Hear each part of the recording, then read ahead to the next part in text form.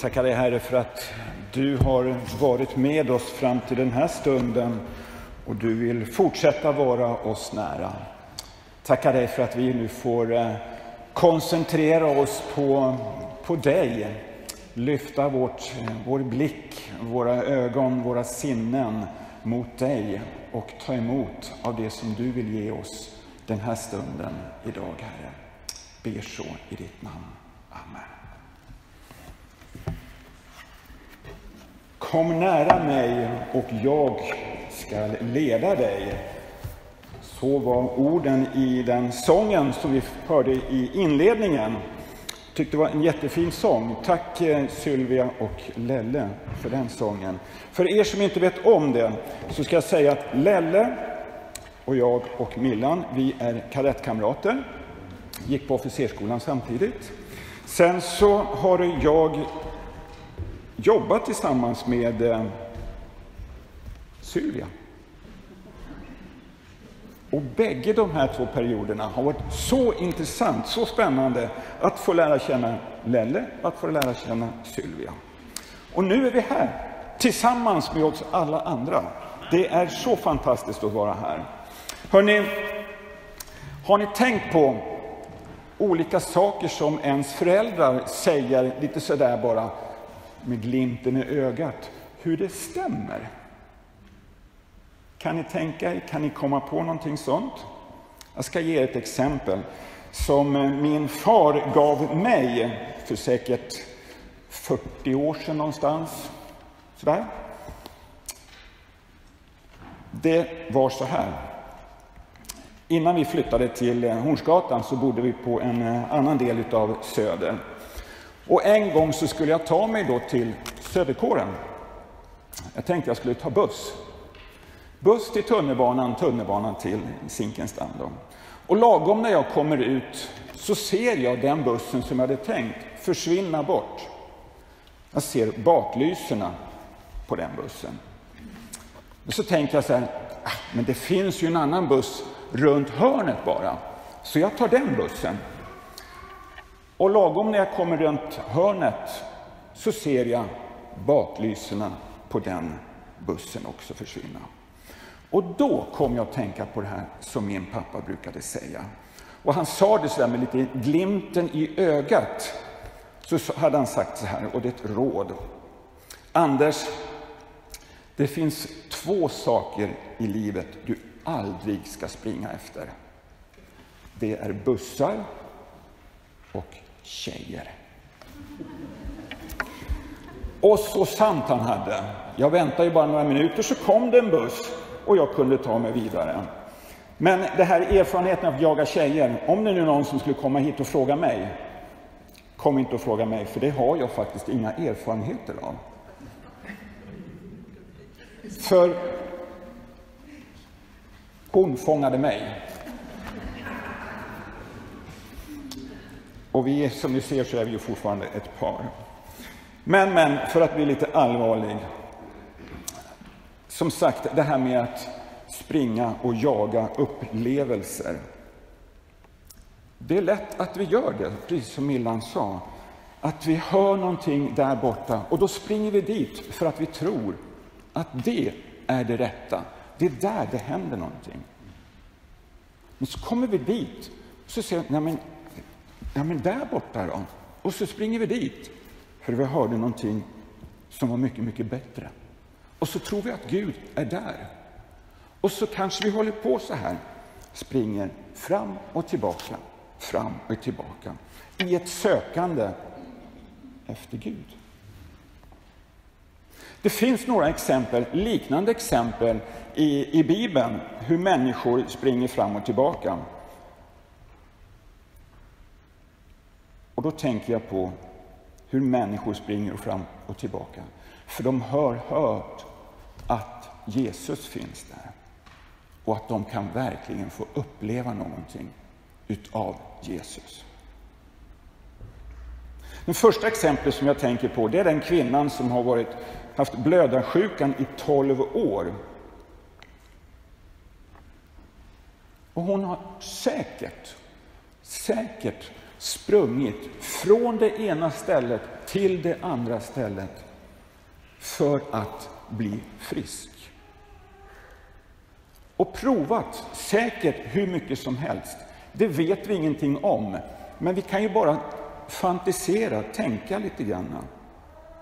Och så får hon höra att Jesus är i närheten.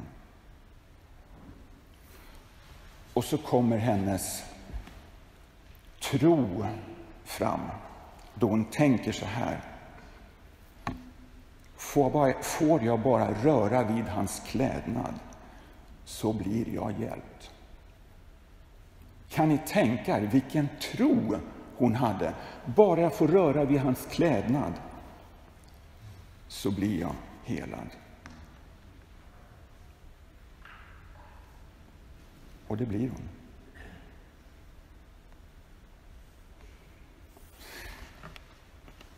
I Markus så står det så här. Några dagar senare kom han till Kafarnaum och det blev känt att han var hemma. Det samlades så mycket folk att inte ens platsen utanför dörren räckte till längre och han förkunnade ordet för dem. Då kom det dit med en lam, som bars, en lam man som bars av fyra män. Och eftersom de inte kunde komma in till Jesus i trängseln bröt de upp taket ovanför honom och firade ner bädden där den lame kunde komma ner. När Jesus såg deras tro så sa han Mitt barn, dina synder är förlåtna. Mitt barn, dina synder är förlåtna. De söker upp Jesus och han blir helad. Stig upp, ta din bädd och gå. Och mannen steg upp och gick. Här handlar det om fyra stycken män. Fem egentligen. Då. Och de var beredda att göra allt för att komma inför Jesu ansikte. De var beredda på att till och med bryta upp taket och vad alla de kostnader skulle bli. De var beredda att betala det priset för att den här mannen skulle bli helad.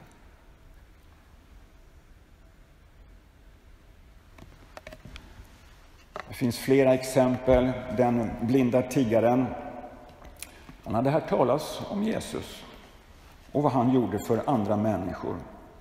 Och han trodde att ja, men han kan nog hjälpa mig också. Men eftersom han var blind så var det inte så enkelt för honom att ta sig fram till honom. Så han satt där vid vägkanten och väntade och väntade. Och så kommer Jesus och då säger Bartolomaios Jesus, Davids son, förbarma dig över mig. Många sa då åt honom, tyst. Men han ropade ännu högre, Davids son, förbarma dig över mig. Jesus stannade och sa, kalla hit honom. Det gjorde det som hade sagt till honom och sa till den blinde, var lugn, stig upp, han kallar på dig. Då kastade han sin mantel och sprang upp och kom fram till Jesus och Jesus frågade honom, vad vill du att jag ska göra för dig? Den blinde sa, Rabbino, gör så att jag kan se igen. Jesus sa, gå, din tro har hjälpt dig.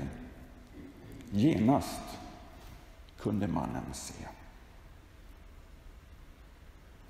Tre exempel på hur människor har verkligen sökt Jesus för att bli helade.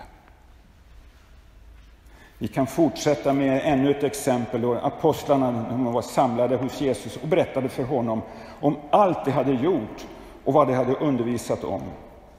Och han sa till dem, kom med mig bort här, ödetrakten, så att vi får vara ensamma, så att vi kan vila. Då var det många som kom och de såg att de var på väg åt det hållet. Han gav sig ut iväg i en båt ut i öde trakt för att vara ensam. Men många såg och det for många, och det var många som fick veta det. Från alla städer skyndade folk till fots och han före dem. När han steg i land fick han se en stor skara människor. Han fylldes av medlidande med dem, för det var som får utan herde, och han undervisade dem länge.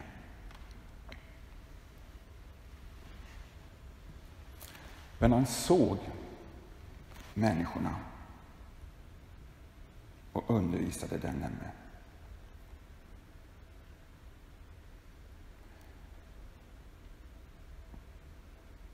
Här är några tydliga exempel i Bibeln hur människor gör allt de kan för att komma nära Jesus. De gör allt vad de kan för att komma nära Jesus. Och anledningen, men det var ju för att de kunde bli helade, de kunde bli friska. De kunde få höra undervisningen om Jesus.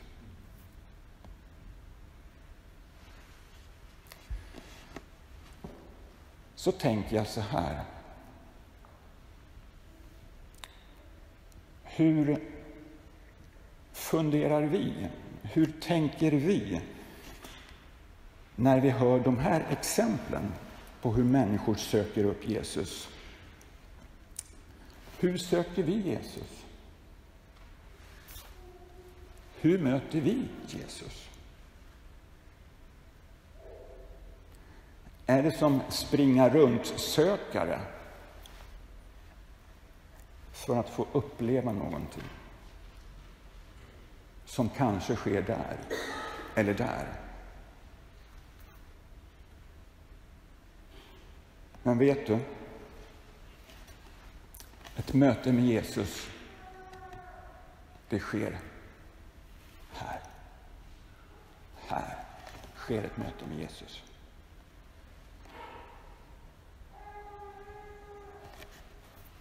Så enkelt är det. Så enkelt är det att i tro att möta Jesus och han finns i ditt hjärta.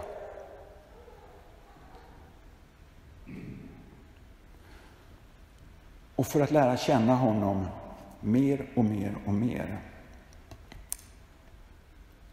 så gäller det att vi öppnar våra sinnen, lyssnar till vad han vill säga. Men också att vi stillar oss inför honom. Att vi inte bara rusar vidare i livet. När du ber, gå då in i din kammare, stäng dörren och be sedan till din fader som är i det fördolda. Då skall din fader som ser i det fördolda belöna dig. När du ber. Gör det i fördolda. Och när jag läste det så tänkte jag så här, en enkel, enkel liten tanke. Vi lever i ett samhälle där det är så mycket av information som bara strömmar emot oss. Och vart finns Gud i det flödet? Och hur uppfattar vi Gud i det flödet? Därför så tror jag att vi behöver inte springa och söka Gud. Gud finns här och Gud möter oss i vårt enkla. Men så är det någon som kanske tänker så här ifrån Matteus 18. Allt vad två av er kom överens om att be om här på jorden, det ska det få av min himmelske fader. Visst, det är sant. Men två behöver ju inte vara på samma plats. Allt vad två kom överens om att be om. Väldigt enkelt. Två, tre, hur många man nu än kommer överens om att be om. Det kommer vi få. Och vad ber du om? Vad ber du om? Vad är din längtan? Min längtan är att vi här på templet ska få tjäna vår Herre, vår Frälsare, mer och mer för varje dag som går. Och för att kunna göra det så måste vi be om vägledning.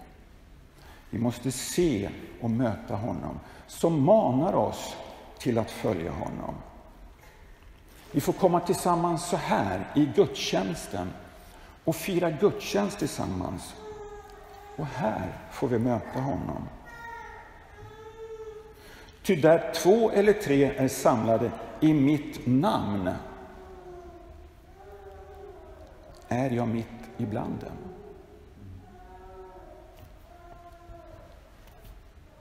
Jesus är här, mitt ibland oss.